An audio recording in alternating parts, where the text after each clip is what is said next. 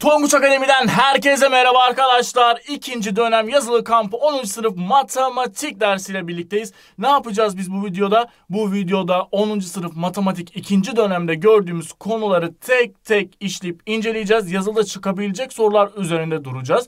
Ama öncesinde ne yapacağız tabii ki? Konularımıza bakacağız. Yani neler işledik, neler gördük bunları tekrar edeceğiz. Ardından da sorularımızı çözüp mükemmel bir şekilde yazılarımıza hazır hale gelmiş olacağız. O zaman hiç vakit kaybetmeyelim ve başlayalım.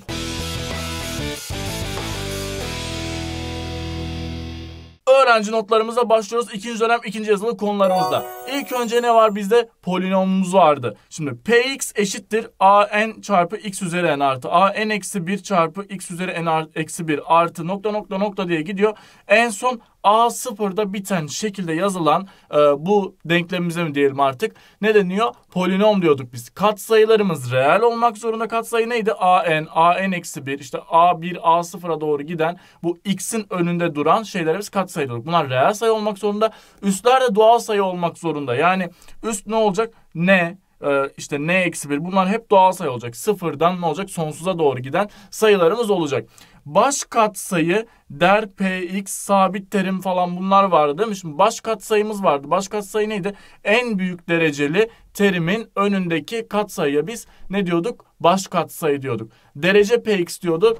Px polinomumuzun derecesini soruyor. Nasıl biliyorduk biz dereceyi? Aslında en büyük derece bizim Px polinomumuzun derecesi olmuş oluyordu. Sabit terimi nasıl buluyorduk? Sabit terim aslında önünde x olmayan sabit terim. Yani bir değişkenle çarpım halinde yazılmayan şey sabit terim. Mesela burada a0 bizim sabit terimimiz olacaktı. Kat sayıları toplamımız vardı bir de. Bunları tek tek bakalım şimdi. Sabit terimi biz nasıl bulabiliyoruz bir polinomda?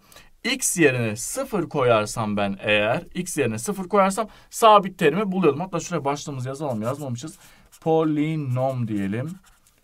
Ee, ne yapacağız? x yerine 0 koyduğumuzda sabit terimi buluyormuşuz. Şimdi kat sayılar toplamı nasıl buluyorduk? X yerine 1 koyarak. Burada X gördüğün yerlere 1 koyduğunda zaten hep kat sayılar kalacak. A n çarpı 1, A n eksi 1 çarpı 1 olacak. Şuradaki kat sayıları tek tek toplamış olacağım. İşin mantığı da bu. Bir de ne vardı? Bize polinom verdi. Dedi ki X eksi 3 ile bölümünden kalan eksi 8'dir dedi. Ya da ne yaptı bize? Yani burada bir ifadeyi vermemiş olur orada. Ee, ya da kalanı vermiyor. X polinom verdi sana. X eksi 3 ile bölümden kalan kaçtır dedi. O zaman ne yapıyorsun?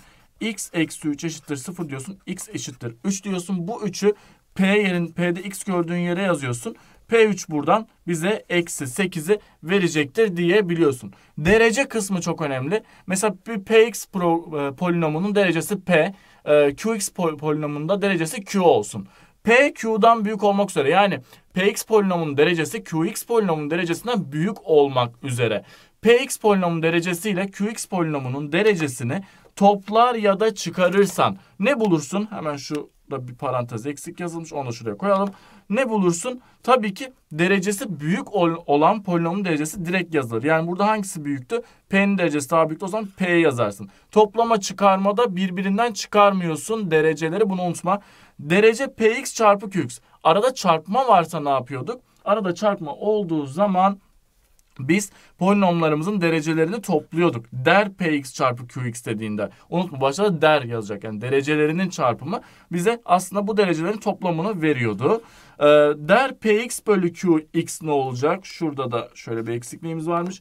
Ne yapacağız o zaman da? P'den q'yu çıkaracağız. P eksi Q. Toplama şeklinde olduğunda büyük olan dereceyi yazıyorsun. Ee, ne oluyor? Derece Px çarpı Qx olduğunda topluyorsun. Bölü olduğunda çıkarıyorsun. Başka bir şey var mı bakıyoruz. Tamam bu kadar yeterli polinomla ilgili değerli bilgilerimiz. Yani bize ana hatlarıyla soru çıkabilecek kısımlar bunlardı. Bir sonraki konumuza geçelim. Çarpanlara ayırma. Çarpanlara ayırmada birkaç yöntemimiz var. Neydi? Biri ortak çarpan parantezine alma. Nasıl alıyorduk ortak çarpan parantezine? Şimdi bakıyorum. x kare y artı x y kare var burada. Bu iki tane ifadem var aslında benim. E, toplam şeklinde verilmiş. Bunların ortak elemanlarına bakıyorum. Ne var burada? x kare y'de x y çarpı x gibi bir çarpan var. Burada x y çarpı yani ikisinde de x çarpı y çarpanı ortak. x çarpı y'yi ben ortak paranteze alıyorum. Buradan ne gelir bir de? x olması lazım ki içeri dağıttığımda x kare olsun. Ve buradan ne gelecek? Y gelecek. Bunu içeri dağıttığımda x çarpı y kare olsun. E tamam ortak paranteze aldım. Demek ki ortak parantezi alma yöntemi böyle işliyormuş. Gruplandırarak çarpma çarpanları ayırmayı nasıl yapıyorduk biz? Bunları e, ortak paranteze alabileceğim şekilde gruplandırmam lazım. Burada karmaşık bir şekilde vermiş bize şekli. Ne yapacağız biz burada? Bakıyorum şurada mesela a eksi b. Burada x'ler ortak değil mi? a eksi b artı bx eksi ax. Şimdi bunu ne yapabilirim? A eksi B ortak parantezine aldıracak muhtemelen bunu bana. O zaman şuraya ben eksi x parantezine alayım şu ikisini. Eksi x parantezinde A eksi B olacak. Geri içeri dağıttığımda eksi AX. Bunu geri içeri dağıttığımda artı B eksi yapıyor çünkü. Sonra ne olacak? Hemen bakıyorum. Burada A eksi B eksi x parantezinde a eksi b. Artık çok basit işim. Ne yapacağım ben burada? a eksi b parantezini yazabilirim. Şunun bu başında gizli bir çarpanı var gibi düşünsem. 1 e, şöyle yazalım. 1 eksi x çarpı a eksi b diye yazabileceğim. Burada şunu biraz daha yukarı yazalım daha güzel olsun. 1 eksi b e, pardon 1 eksi x çarpı a eksi b şeklinde yazacağım ben bunu. Şimdi özdeşliklerimize geçebiliriz artık. Özdeşliklerimiz çok çok önemli. Yani bu çarpanlara ayırma kısmında bileceğimiz bu özdeşlikler bizim sonraki lise hayatımızda 11. 12. sınıfta dahi çok fazla karşılaşacağımız, çok önümüze çıkacağı, çok işimize yarayacağı şeyler. Bunlar bilmekle yükümlüyüz aslında. x kare eksi y kare. Bu daha önceden de bildiğimiz bilgi zaten. İki kare farkı. Bunu nasıl ayırıyorduk? Birinci artı ikinci çarpı birinci eksi ikinci yani x artı y çarpı x eksi y diye ayrılıyordu. x küp eksi y küpü nasıl ayırıyorduk biz?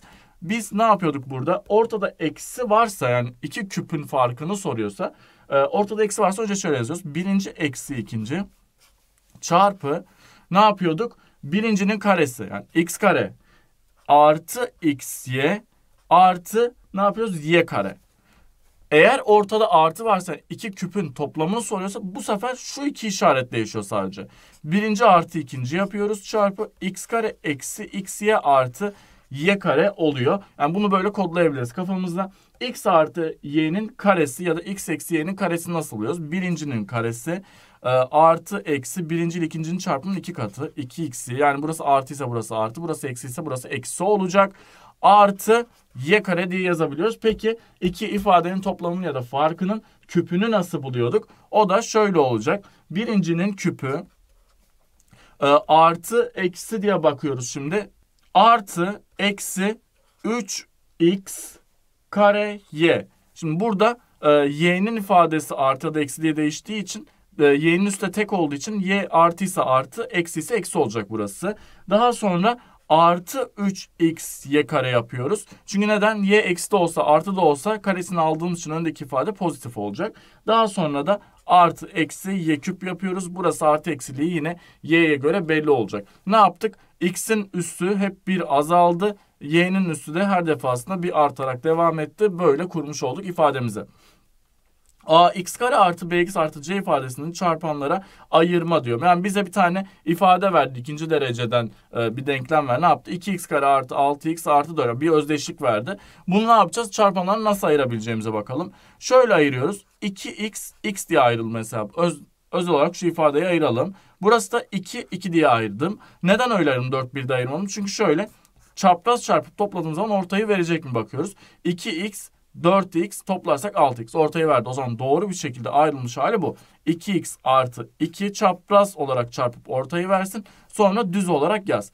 Çarpı x artı 2 diye yazmış oluruz biz bu özdeşliği de. Rasyonel ifadelerde aynı şekilde e, böyle sadeleştirilebiliyor. Mesela böyle bir ifade verdi bize. E, altında da ne yaptık? 2x kare artı 6x artı 4 böyle x artı 2 dedi. Ben şunu 2x artı 2 çarpı x artı 2 diye yazdım. Bölü x artı 2 hatta şurada parantezlerimiz var.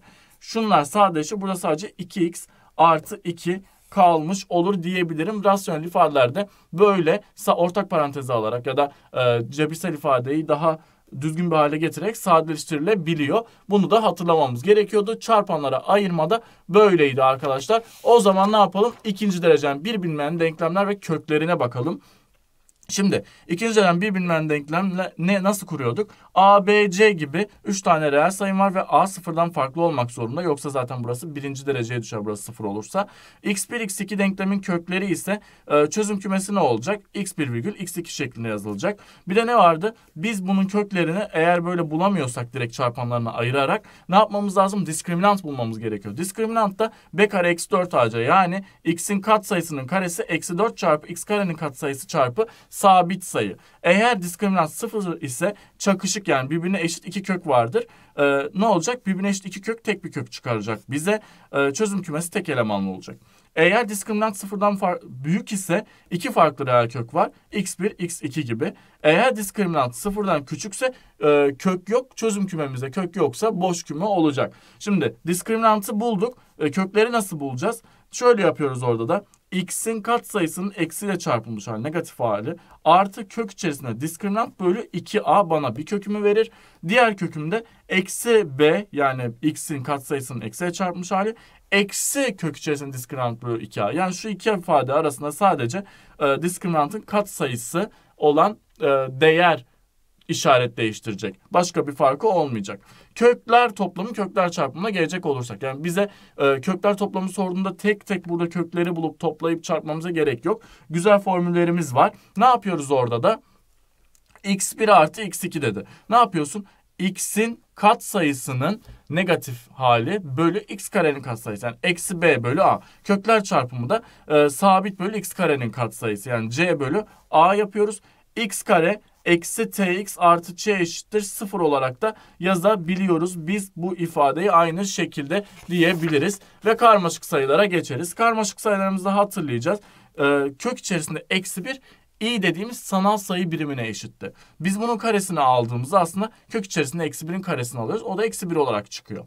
Ee, eksi kök içerisinde e, eksi kök üç mesela ya da kök içerisinde eksi üç çarpı kök içerisinde eksi ikinin çarpımı da kök altıya eşit değildir. Çünkü bunların her biri i olan sanal sayı birimine sahip sayılardır. Buna takılmayalım. Burası çok önemli bu kısımda soru gelebilir belki şaşırtmak için bir şeyler yapabiliriz o yapabilir hocalarımız. Ee, başka ne vardı? i üzeri mesela ne dedik? i üzeri 1 şöyle yazalım. i'di. i kare eksi 1'di. i üzeri 3 ne olacak? Eksi i olacak. Ee, i üzeri 4 de i üzeri 4 de ne olacak? i karenin tekrar karesini almak yani 1 yapacak. E bunu her döndürdüğümüzde her dörtlü de 1 aynı şey gelecek. i, i üzeri 5 de o zaman tekrar i yapacak. i üzeri 6 eksi 1, i üzeri 7 eksi, i üzeri eksi, i üzeri 8 1 olacak. Böyle böyle devam edecek. Sonsuza kadar böyle gidecek. Yani bu dört tane sayı böyle kendini tekrarlayarak devam edecek. Ya da şöyle diyelim. i'nin dördün katları olan kuvvetleri her zaman 1 olacak. Bu 4'ün katları olan kuvvetlere 1 eklediğimizde i olur. E, ee, 4'ün katları olan kuvvetlere ne yapabilirim? E, ee, 2 eklediğimde ne olacak? Eksi 1 olacak. 3 eklediğimde eksi i olacak. 4 eklediğimde de e, 1 olacak. Yani yine i'nin aslında 4'ün katları olan kuvvetine 4 eklemek yine 4'ün katı olacağı için tekrar bize 1'i verecek. Şimdi karmaşık sayılarımız bizim z ile gösteriliyor. Bunların iki kısmı var. Bir reel kısım, bir imajiner kısım. İyili olan kısma imajiner, e, iyili olmayan kısma reel diyoruz. Reel z diye gösteriliyor. Bu da imajiner z olarak gösteriliyor.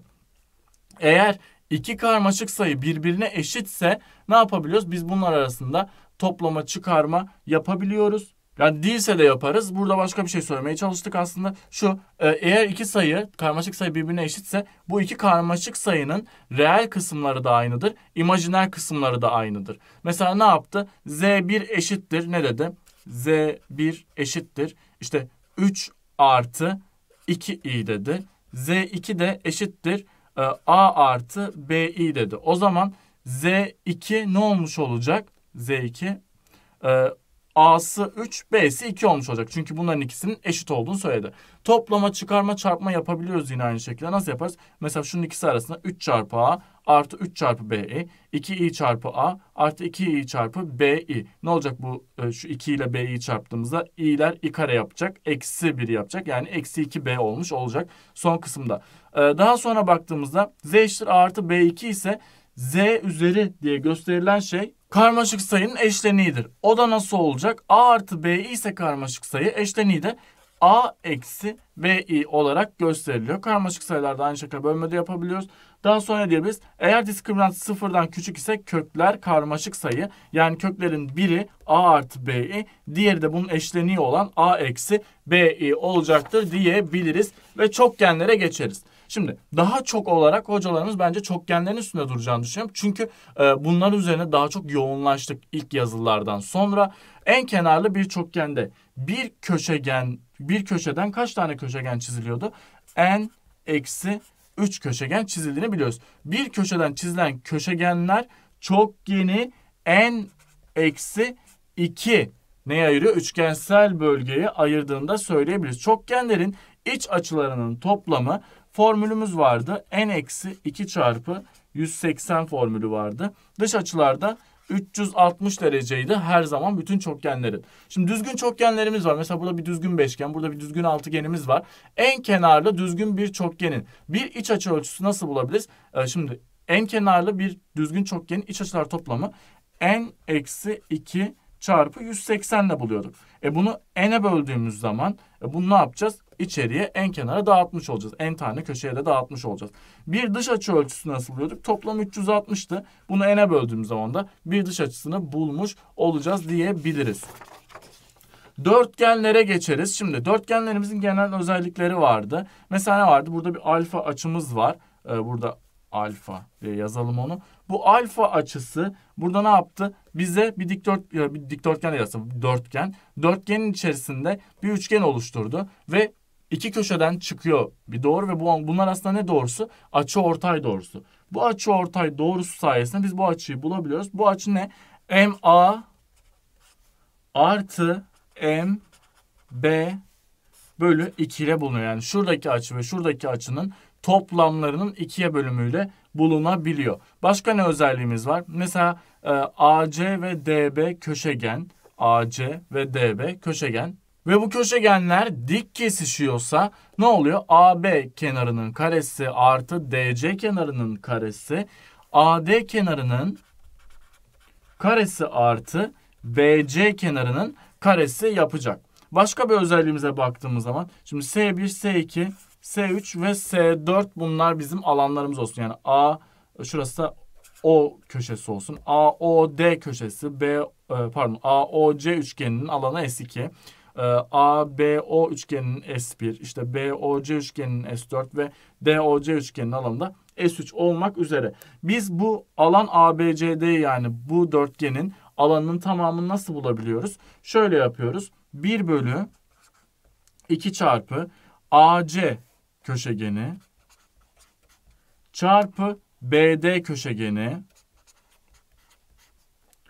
çarpı sinüs alfa ile bulmuş oluyoruz biz bu köşegenimizin alanını. Ve bir diğer özellikle karşılıklı bu oluşturduğumuz üçgenlerin alanlarının çarpımı birbirlerine eşit olmak durumunda. Yani S1 çarpı şöyle yazalım S1 çarpı S3 eşittir S2 çarpı S4'te diyebiliriz. Başka bir dörtgenimizi vermiş bize burada. Ve ne demiş? Böyle hepsinin aslında orta noktalarıyla kenarların hepsinin orta noktalarını birleştirip bir dörtgen oluşturmuş. Biz bu alan KLMN'yi nasıl bulabiliyoruz? Alan ABCD hepsini aslında şuradan kodlayabiliriz.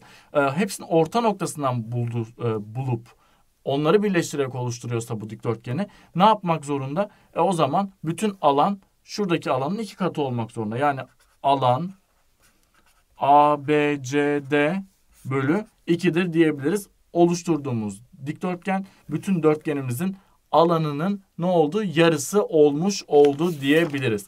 Yamuk. Şimdi yamukla ilgili de dört tane önemli, çok önemli özelliğimiz var. Bunlara bakalım şimdi. Ee, AB paralel. Yamukta neydi? Ee, paralel iki kenarı olacak karşılıklı. Ee, böyle oluşturacağımız biz dörtgene yamuk diyorduk. ABDC'ye paralel. Şu ikisi karşılıklı paralel. Tamam bu bir kural zaten. MABC artı MBC'de. MABC bakıyorum ABC şurası artı MBC'de. E tamam bunların ikisi paralelse U kuralından zaten hatırlayacağımız üzere şunların ikisinin toplamı 180 yapmak durumunda. MBAD, BAD ve MADC. Yine aynı şekilde şöyle bir U var. Bunların ikisi paralel. O zaman bunların ikisinin toplamı 180 olmak zorunda. Şimdi AD B e, ne olacak? Şurası da mesela K olsun. BK paralelse şunların ikisi de o zaman aynı olmak zorunda uzunlukları. Burası D ise burası da D'dir deriz. Ve ne diyor? KL AB'ye paralel. AB KL'ye paralel. Ne yapmış? Ve o da DC'ye paralel. Tamam. Ee, bizim paralel iki kenarımıza paralel olarak bir tane ne yaptı? Doğru çizdi ve bu doğrular nereden geçti? Köşegenlerin kesişim noktasından geçti. O zaman ne diyoruz? Biz burada oluşturacağımız doğru parçası e, köşegenlerin kesişim noktasını böldüğü yer, yerlere baktığımız zaman bu iki taraf birbirine eşit oluyor. Yani KO OL'ye eşit oluyor ve biz bunu nasıl buluyoruz? Üst taban alt tabanı çarpıp ve üst taban alt taban toplamına bölerek buluyoruz. Ne yapıyorduk? Eğer köşegenlerin kesim noktasından bir doğru parçası geçirdiysek o zaman e, ve bu doğru parçası ne olacak? Tabii ki tabanlara paralel olacak. E, bu doğru parçasının ayırdığı her bir kısmın uzunluğu üst tabanla alt tabanın çarpımının toplamlarına eşittir diyebiliriz. Başka ne var? Mesela şöyle yapmış. E, yine bir yamuğumuz var. Yamuğumuzun üst tabanı A, A alt tabanı B uzunluğunda. Ne yapmış şimdi de? Bu yamuğun yan taraflarındaki kenarların orta noktalarını bulmuş ve bu orta noktaları birleştirip bir doğru parçası oluşturmuş. Ve bu doğru parçası köşegenleri iki noktada kesmiş. Bu doğru parçasının uzunluğunu nasıl buluyoruz biz? Hemen bakıyoruz. A ile B'yi üst tabanla alt tabanı toplayıp ikiye bölerek. Peki bu doğru parçasının köşegenleri kestiği noktaların arasındaki uzunluğu nasıl buluyoruz? Bu sefer de e, uzun olan tabandan kısa olan tabanı yani b eksi a çıkarıp ikiye bölerek buluyoruz. Bir de önemli olan neydi özellik? Yine yamukta alan vardı. Alanı da nasıl bulacaktık? A artı şurada şurası C olacak. Burada şöyle düşünelim. Biraz kötü çizilmiş bir yamuğumuz var. Biz bunu düzeltelim. Şöyle bir yamuğumuz olmuş olsun. Şöyle görelim. Tamam. Ee, uzun tabanın uzunluğu B, kısa olanın A. Ne olacak? Bir de yüksekliğimiz var. H. Biz burada alanı bulabiliriz artık. Ne olacak? Üst taban artı alt taban. Yani alt taban artı üst taban. A artı B çarpı yükseklik bölü 2 bize ne yapıyor? Yamuğun alanını bulduruyor diyebiliriz. Ve yamuğun özelliklerinden devam ediyoruz. Ne var özelliklerimiz yamukta başka? Hemen baktığımızda e, yine aynı şekilde en başta işlediğimiz dörtgen özelliklerinde eğer biz köşegenleri çiziyorsak köşegenlerin oluşturacağı bu dört tane üçgene bakıyoruz. Karşılıklı olan üçgenlerin kareleri, alanlarının kareleri ya da pardon karşılıklı alanlarının çarpımı birbirine eşit olacak. Yani A çarpı B, S çarpı S'ye eşit oldu. Ne oldu? S kare oldu. S kare eşittir A çarpı B. Başka ne var? Şimdi yamukta biz bir üçgen oluşturduk. Ama nasıl oluşturduk bu üçgeni? Alt kenar, üst kenar yani e, alt taban, üst tabanlardan biri değil, yan kenarlardan birini seçtik ve bunlardan e, seçtiğimiz kenarın orta noktasını bulduk. Bu orta noktasından köşelere birer doğru çizdik ve bir üçgen oluşturduk. Bu oluşturduğumuz üçgenin alanı bütün alanımızın yarısıdır.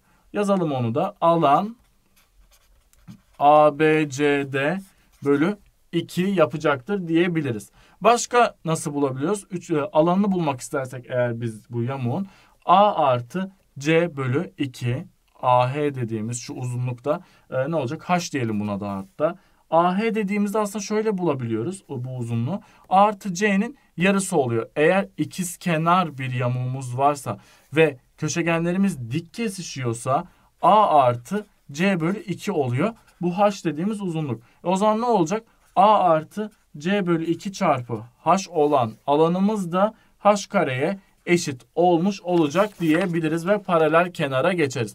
Paralel kenarın genel özelliklerine de bakacak olursak karşılıklı kenar uzunlukları birbirine eşit ve karşılıklı açılar birbirine eşitti. Paralel kenarın karşılıklı kenarları da paralel ve aynı uzunlukta olmak üzere ne dedik? AB eşittir DC'ye ve AD eşittir BC'ye diyebiliriz. Başka ne var? Paralel kenarda köşegenler birbirlerini ortalıyorlar. Yani ne demek? B, DO eşittir OB, AO eşittir OC. Köşegenler birbirlerini ortaladığını söyleyebiliriz. Alan bulurken ne yapıyoruz? Mesela burası A uzunluğundaki DC kenarına inen HA olsun yükseklik. Ee, B uzunlukta BC kenarına inen de HB yüksekliği olsun. Alanı ben HA çarpı A şeklinde bulabilirim. Ya da B'ye inen yükseklikle HB çarpı B olarak da bulabilirim.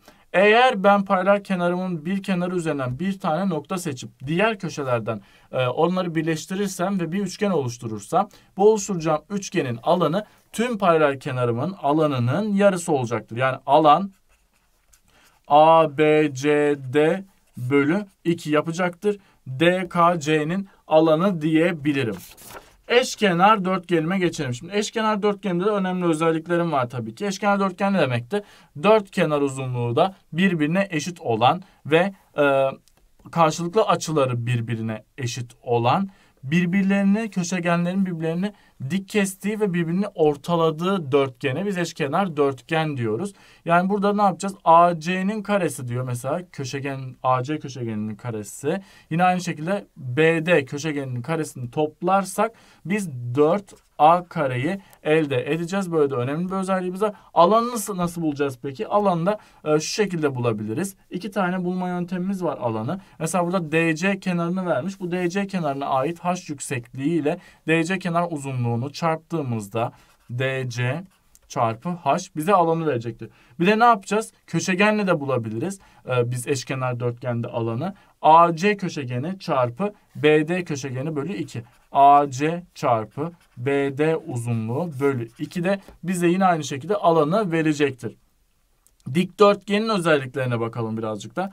Dikdörtgenimizde karşılıklı kenar uzunlukları birbirine eşit. Daha sonra karşılıklı e, bütün aslında açıları 90 derece olan karşılıklı demeyelim. Bütün açılar 90 derece olan ve e, baktığımız zaman köşegenlerin birbirlerini ne yaptığı ortaladığı ve bütün köşegenlerin birbirine e, eşit uzunlukta olduğu ortaladıkları noktadan itibaren de birbirine eşit uzunlukta olduğu dörtgene biz köşegen e, şey dikdörtgen diyoruz. Dikdörtgende şu özelliklerimiz de var. Mesela şuradan bir z kuralı çıktığı için şu iki açı birbirine eşit. Şuradan bir z çıktığı için şu iki açı birbirine eşit. Yine şuradaki z'den dolayı bu e, iki açı ve şu iki açı da aynı şekilde z'den dolayı birbirine eşit olmuş olacak. Şuradaki iki açının toplamı 90. Hepsi o zaman 90 90 90 olacak diyebiliriz. E, alanı nasıl buluyoruz biz burada? Alanı da şöyle buluyoruz. ABCD dikdörtgenin alanını. E, uzun kenar çarpı kısa kenar ya da yine aynı şekilde yukarıda kullandığımız özelliğe benzer bir özelliğimiz var. 1 bölü 2 çarpı AC köşegen uzunluğu çarpı BD köşegen uzunluğu çarpı bu iki köşegenin arasında kalan açının sinüsü. Sin alfa şeklinde de bulabiliyoruz. Ee, son olarak kare ve deltoid şekillerimiz var. Bunlarla da ilgili e, bilgilerimizi verelim. Karede bütün kenar uzunlukları birbirine eşit, 90 e, derecelik açıları sahip olan, işte köşegenlerin dik kesiştiği ve birbirlerini ortaladığı şekle biz kare diyoruz. Ne demiştik? Köşegenler açı ortay olmak durumunda. Açı ortaydır. Gördüğümüz üzere burada hep eşit açılara bölmüş köşegenler. Yani burası mesela e, ne olacak o zaman? 45 45 olacak. 45 45 45 45 45 45 olarak yazabiliriz. Aynı şekilde köşegenler dik kesişir. Onu da söyleyelim. Dik kesişir. Burada dik kesişimde görüyoruz. E, AC BD köşegeni birbirine eşittir ve biz bunu A kök 2 olarak yazabiliriz Pisagor'dan. Yani burası 90 derece olacağı için a kare artı a kare buranın e, to, toplamı buranın uzunluğunun işte karesine eşit olduğu için 2a kare karekök içerisinde alırsak a kök 2 olacak. Çevre ABCD'yi de söyleyelim. Ne olacak? 4a olacak. Alanı nasıl buluyoruz? A ile A'yı çarparak tabii ki A kare. Başka ne yapabiliriz? Köşegenlerden herhangi birini seçeriz. İkisi de aynı uzunlukta zaten. Karesini alırız ve 2'ye böleriz. Bu da bize aynı şekilde alanı vermiş olacak. Deltoide geçecek olursak AC köşegeni açı ortay olacak. Deltoid de neydi? Aslında iki tane ikizkenar üçgenin tabanları eşit uzunlukta olan iki tane ikizkenar üçgenin birleşimiyle olan şekle biz deltoid diyorduk. AC köşegenin açı ortay ve aynı zamanda simetri ekseni. Simetri ekseni ne demek? Her iki tarafı da aynı şekle bölen biz doğru parçasına simetri ekseni diyorduk. Köşegenleri dik kesişir diyebiliriz. Ee, şimdi köşegenler tabi baktığımız zaman şurada AC köşegeni ve DB köşegeni dik kesişiyor. Alan AB e, CD yani biz bu deltoidin alanını nasıl buluyoruz? AC köşegeni ile ne yapacağız? BD köşegenini çarpıp 2'ye böleceğiz. Daha sonra başka bir özelliğimiz daha var yine bulabileceğimiz. AB kenar uzunluğu çarpı e, CM yüksekliği. AB kenar uzunluğu ve bu kenara inen yükseklikle de biz aynı şekilde alanı bulabiliriz. Şöyle yapalım eşittir. AB kenar uzunluğu çarpı CM yüksekliği. Ya da ne yapabiliriz? Aynı şekilde CB kenarına inen AK yüksekliğiyle de bulabiliriz. CB kenarı uzunluğu çarpı ne yapacağız? AK yüksekliği de bize yine alanı vermiş olacak. Ve prizmalarımıza geçeceğiz. Prizmalardan da çıkacağını düşünüyoruz. Ee, prizma neden başlıyoruz? Üçgen prizma ilk önce. Üçgen prizmanın yanal alanını, e, yüzey alanı ve hacim alanı, hacmini bilmemiz gerekiyor. Yanal alanı nasıl buluyorduk? Taban çevresi çarpı yükseklik. Yani şu yanal alan dediği aslında şuradaki uzun dikdörtgen. O da taban çevresi. O da şu demek. B burası B ise burası da B olacak. Çarpı yükseklik dediğimizde buradaki alanı buluyoruz. C çarpı yükseklik burası. A çarpı yükseklik burayı verecek. O zaman direkt biz A, B, C ortak parantezinde e, H yazarsak H yüksekliğini yine bulacağız. Taban çevresi A artı B artı C çarpı yükseklik bize yanal alanı verecek. Yüzey alanı ne olacak? Yanal alanı bulduk bir de üst tabanla alt tabanı bulup e, ona ekleyeceğiz. E, üst taban alt taban birbirine eşit olduğuna göre direkt yanal alan şöyle yazalım. Yanal alan artı iki tane taban alanı dersek bize yüksek e, yüzey alanını verecek. Hacmi nasıl bulacağız? Taban alanı çarpı yükseklik bize hacmi verecek. Bütün prizmalarımızda hacmi böyle buluyoruz. Taban alanı o da alan ABC'de ABC'de pardon alan ABC üçgen olduğu için taban alan ABC şöyle üçgeni çarpı yükseklik bize hacmi vermiş olacak. Dikdörtgenler prizmasına geçecek olursak dikdörtgenler prizması neydi? Ee, dikdörtgenlerden oluşan 6 tane dikdörtgen karşılıklı olan dikdörtgenlerin eşit olduğu e, şekle biz bu cisme dikdörtgenler prizması diyorduk. İn, açılımı da bu şekilde böyle inceleyebiliriz. Bunun yanal alanını bulacağız ama daha öncesinde şunlardan bahsedelim. Şimdi e, burada ne vermiş? Şu uzunluk A, şu uzunlukta B'ymiş. Yani şurası A, şurası B. O zaman tabanın köşegenini nasıl buluyoruz? Kök içerisinde A kare artı B kare şeklinde buluyoruz. Bir de cisim köşegenimiz var bizim. Burayı bulduk tabanın köşegenini. E, şu yükseklikte C'ydi. E, bu, o zaman şu uzunluğu, çünkü burası da dik kesecek bunlar. E, şu uzunluğun karesi e, artı bu uzunluğun karesinin toplamı karekök içerisinde yazımında bize cisim köşegenini verecek. Burası önemli. Burası yazılıda sorulur diyoruz. Çünkü e, bu kısım zorlamak isterse hocamız buradan zorlayabilir. Dikdörtgenler prizmasını diyebiliriz. Şimdi yanal alanını bulalım. Yine aynı şekilde taban çevresi çarpı yükseklikle bulacağız. Taban çevresi ne yapacak? 2A artı 2B 2A artı 2B çarpı H yüksekliği burada C olarak vermiş. C diyelim. Bize yanal alanı verecektir. Yüzey alanını nasıl bulacağız? Yine yanal alan artı iki tane de tabanımız olacak. Yüzey alanını da öyle bulacağız. Yani 2A artı 2B çarpı C.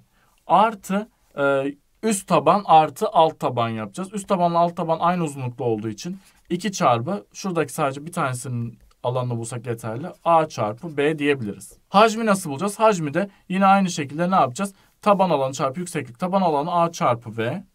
Yükseklikte C deyip dikdörtgenler prizmasının alanını da bu hacmini de bulmuş oluruz. Kare prizmaya geçeriz. Kare prizmada yine aynı şekilde ne olacak? Ee, taban ve tabanı e, alt taban ve üst tabanı kare şeklinde olan e, kenarlarda dik, e, ne olacak? Aynı şekilde dikdörtgen şeklinde olan biz prizmaya e, kare prizma diyoruz. Yanal alanını bulurken ne yapıyoruz? Yine taban çevresi çarpı yükseklik. Taban çevresi kare olduğu için tabanı 4A bir kenarı A uzunluğundaysa çarpı yükseklik. Yüksekliğimize H demişiz şu uzunluğa.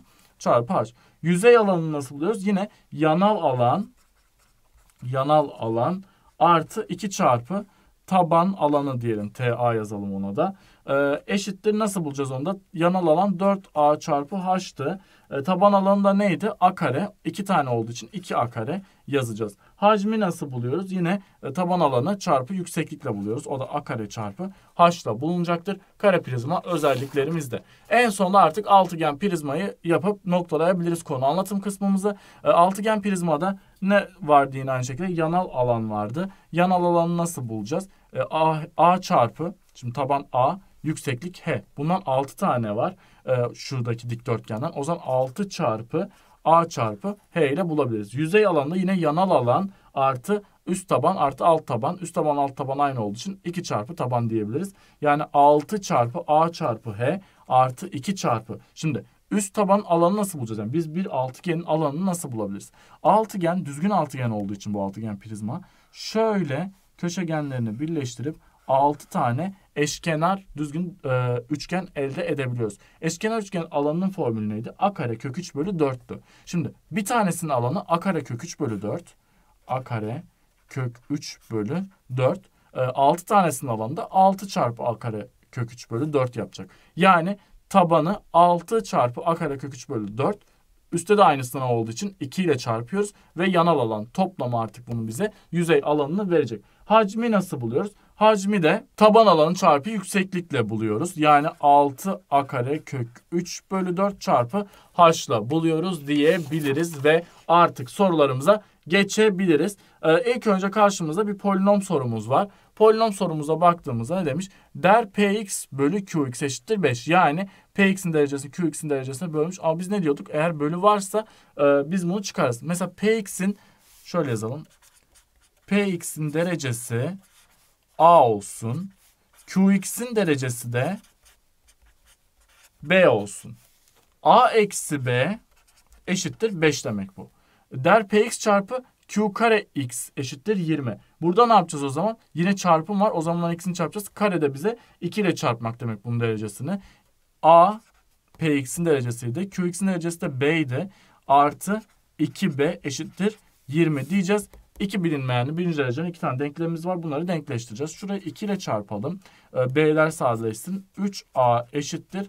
30 yaptı. A buradan 10 yaptı. Onu yerine koyduğumuzda B'de ne yapacak? 5 yapacak. Bize der P, Q, X'i soruyor. İç içe olduğu için bunların ikisinin derecesini çarpmamız gerekecek. Yani 10 çarpı 5'ten 50 yapacak cevabımız. Bir sonraki soru karmaşık sayılarla alakalı bir soru z artı 2 eksi 3 eşittir. Ee, z'nin eşleniği çarpı i artı 1 olduğuna göre z karmaşık sayısının imajiner kısmını soruyor bize. Ben şu z'yi a artı bi şeklinde yazarsam z'nin eşleniği de a eksi bi. Bunu görmüştüm az önce tekrarımda da. a artı bi yazdım artı 2i eksi 3 eşittir. a eksi b'yi yazacağım eşleniğin yerine de. a eksi bi çarpı i artı 1. Şimdi şunu tekrar yazalım. A artı BI artı 2i eksi 3 eşittir. Bunu içeri dağıtalım. AI artı 1 pardon artı A eksi BI çarpı i ne yapacak? i'ler çarpıldığı zaman eksi 1 yapacak. Artı b yapacak burayı. Sonra eksi b ile 1'i çarparsak eksi bi yapacak. Buradaki a ile buradaki a birbirini götürecekler. Daha sonra ne var burada? Bu eksi b'yi bu tarafa atalım.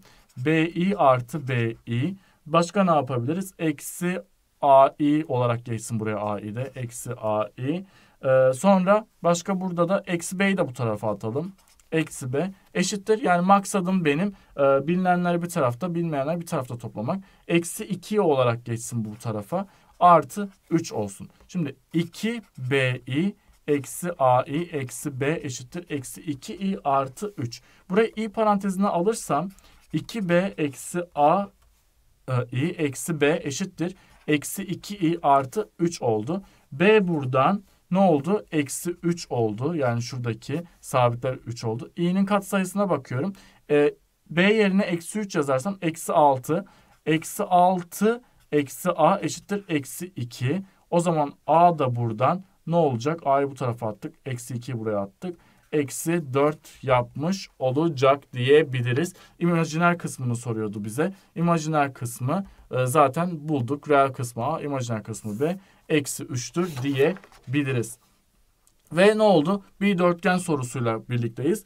Dörtgen ABC'de bir dörtgen diyor. Burası çok önemli. Bu tarz şeyleri tabii ki daha çok biz geometrik şekillerden beklediğimiz için hoca sorar diyorum ben. Ee, sorarsa dörtgenlerle alakalı böyle bir soru sorar. Çünkü burada dörtgeni kullandıracak ve basit bir soru aslında baktığımızda ama dikkat etmemiz gereken bir nokta var. 60 var, 60 var.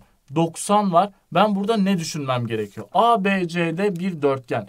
DC e, 6 uzunluğunda DC dediğimiz yere bakıyoruz. Şurası 6 uzunluğunda.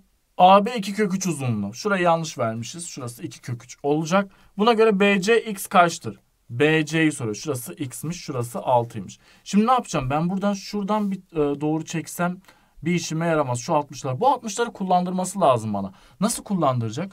Bunu ben bir üçgene tamamlasam. Şöyle bir üçgene tamamlasam.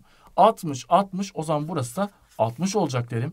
90 ise burası da 90 olacak. Bu doğrusal olarak devam etti çünkü. 90, 60 burası da 30. İşte şimdi artık işim çok kolay. Çünkü 60'ın karşısı 2 kök 3 ise 30'un karşısı kaç olacak? Baktığım zaman 30'un e, karşısı 2 olacak diyebilirim. Şimdi bu 60 60 60 bir eşkenar üçgen oluşturuyor bana. O zaman burası 6 ise burasının da 6 olması lazım. 2 artı x eşittir 6 ise x eşittir 4 olmalı. Görüyorsunuz ne kadar kolay bir soru.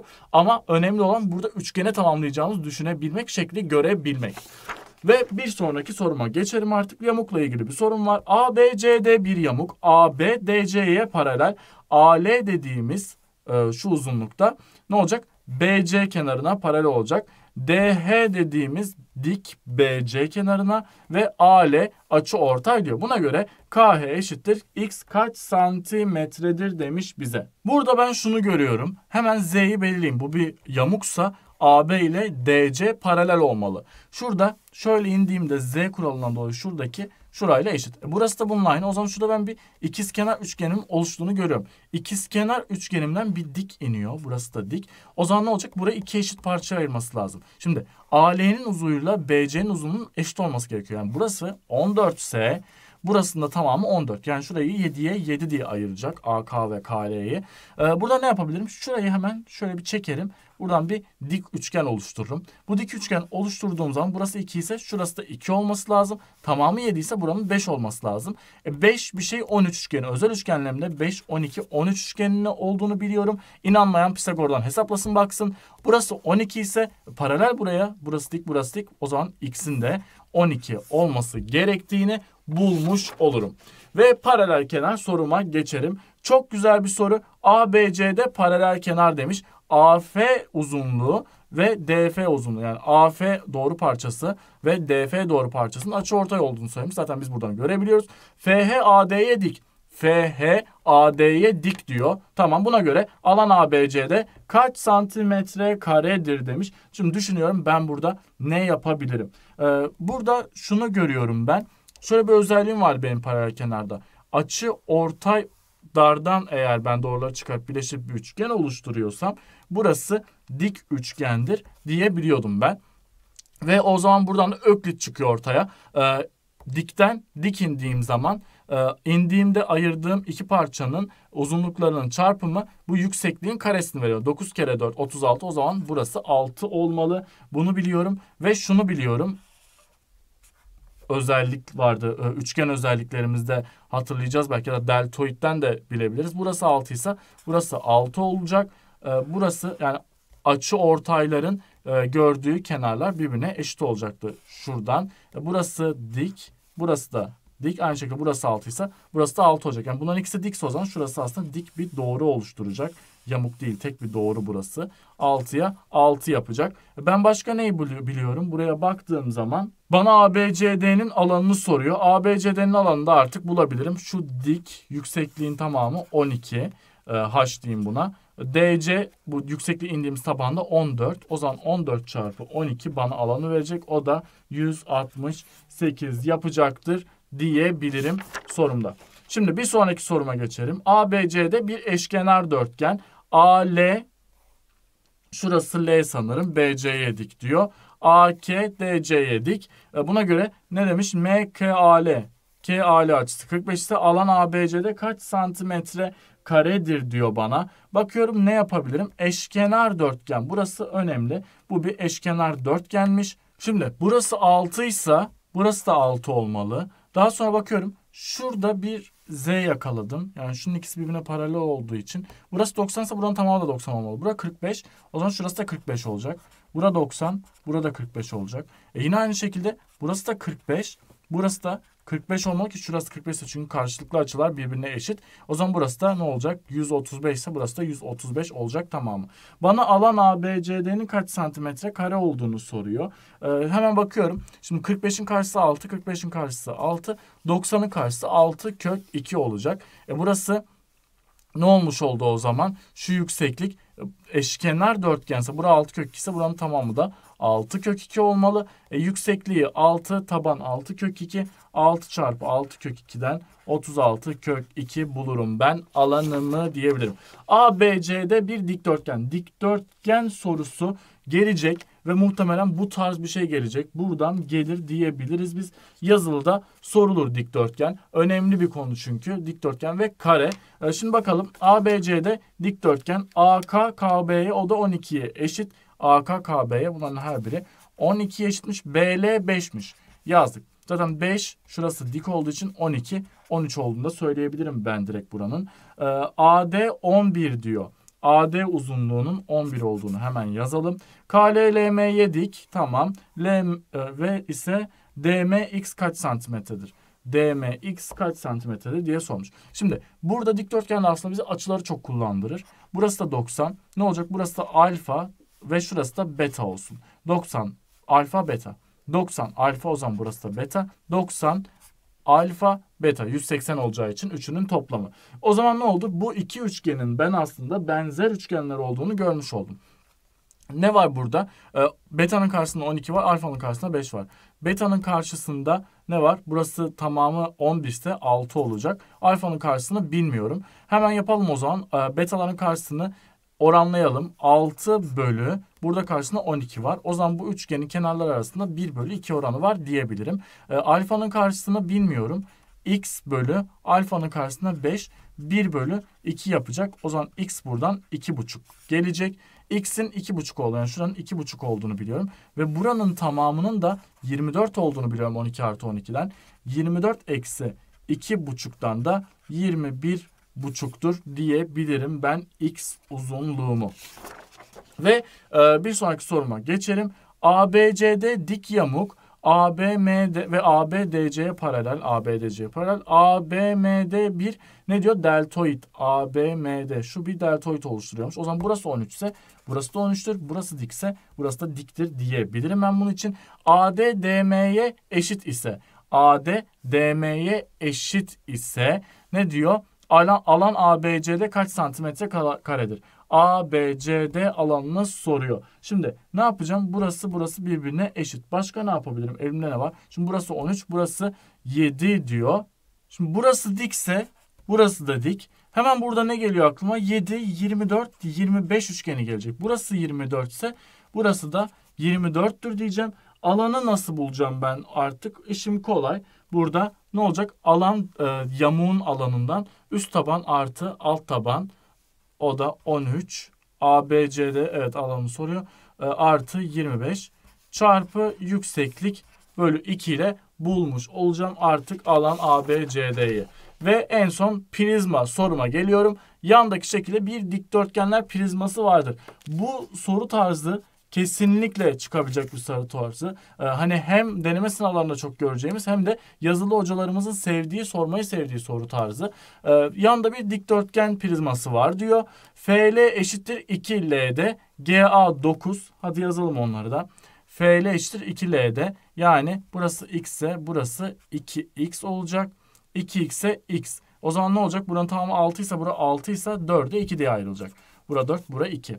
GA 9 GA baktığımız zaman 9, AB 6 ve BC 3 olduğuna göre A noktasından yola çıkıp prizma yüzeyi üzerinde hareket ederek L noktasına gelecek olan bir karıncanın alacağı en kısa yolu bulalım.